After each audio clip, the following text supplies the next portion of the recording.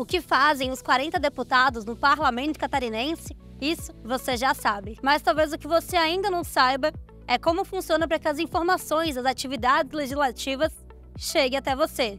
Vem cá que eu vou te explicar. Dentro da estrutura da Assembleia Legislativa existe a Diretoria de Comunicação. Aqui o trabalho pode ser dividido da seguinte forma: tem a rádio, as redes sociais, a televisão, a agência de notícias com reportagens e fotografias e tem também a gerência de publicidade, que é responsável por campanhas publicitárias como a da segurança escolar, que foi destaque em 2023. A cada comissão, sessão legislativa, audiência pública, capacitação da escola do legislativo e tantas outras atividades, a imprensa da LESC está presente para deixar você bem informado. Agora vou te contar um bastidor. Sabe o quanto isso representa em números? Só em 2023 fizemos mais de 1.300 reportagens jornalísticas.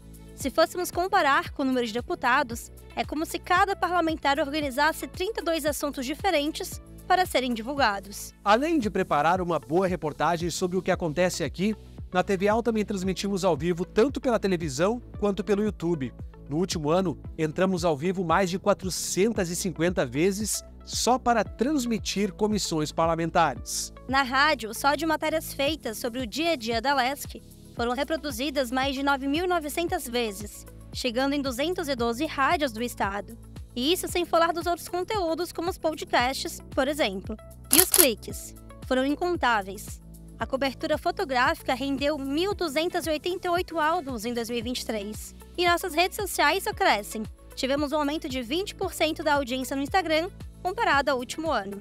E aí, curtiu saber um pouco mais sobre o que acontece nos bastidores da UESC? Então aproveita e já se prepara que estamos aquecendo para 2024. Vem aí a retomada das atividades parlamentares. No dia 6 de fevereiro acontece a primeira sessão ordinária do ano e você poderá acompanhar tudo ao vivo por meio do nosso canal no YouTube e também nas nossas redes sociais.